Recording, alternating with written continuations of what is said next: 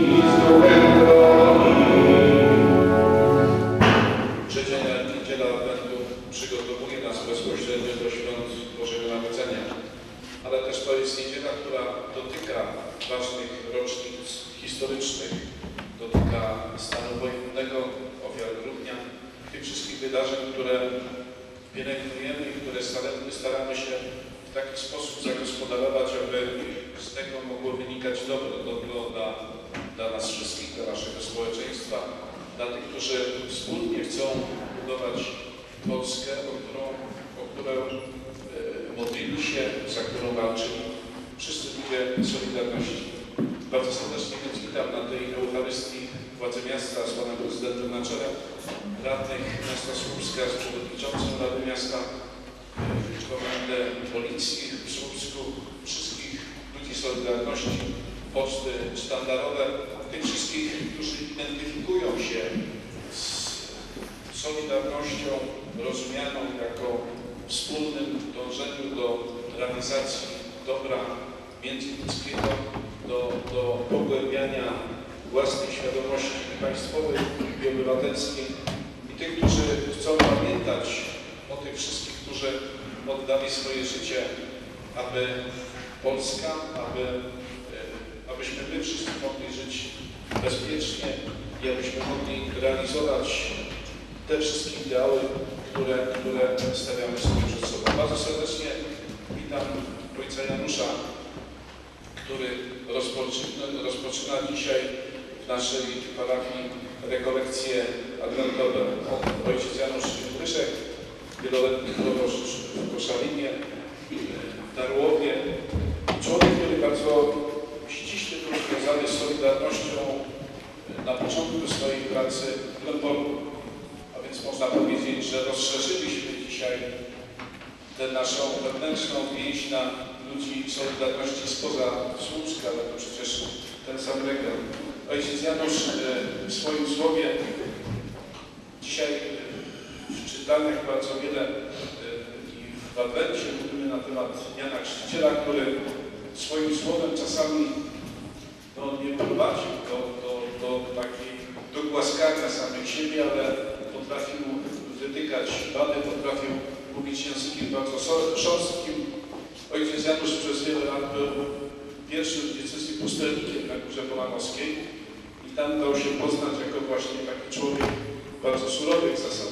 Dlatego bardzo serdecznie zapraszam nie tylko dzisiaj, ale w następne dni, tygodnia na rekolekcje, które tutaj będzie u nas prowadził. Bóg jest wśród swojego ludu. Czytanie z księgi proroka Sofoniasza. Czerpać będziecie wolne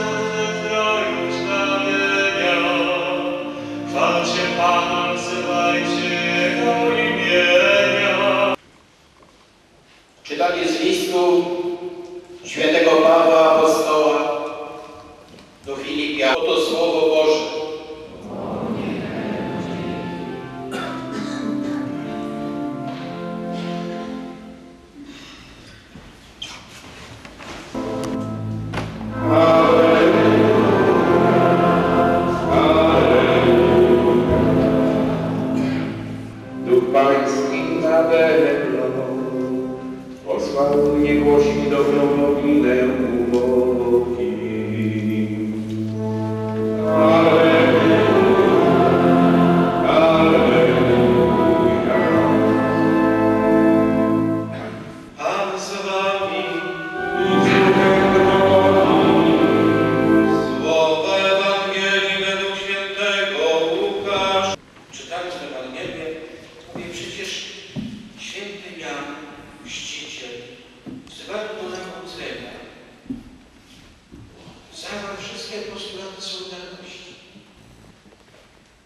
Manifest Solidarności. Kto ma dwie niech jedną da temu, który nie ma. A kto ma żywność, niech tak samo czyni. Nie pobierajcie nic więcej ponad to, ile wam wyznaczono. Nad nikim się nie znęcajcie i nikogo nie uciskajcie, lecz poprzestawajcie na swoim rządzie. Choć to nie jest streszczenie ideałów Solidarności. Módlmy się do Ojca Niebieskiego, do którego, dla którego nie ma rzeczy niemożliwych.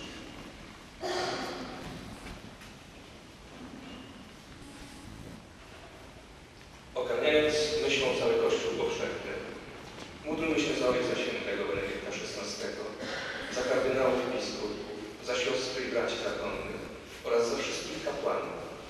Panie,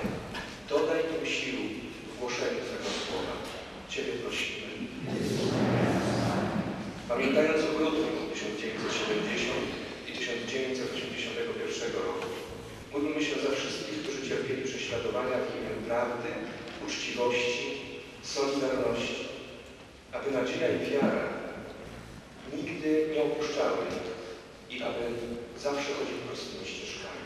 Ciebie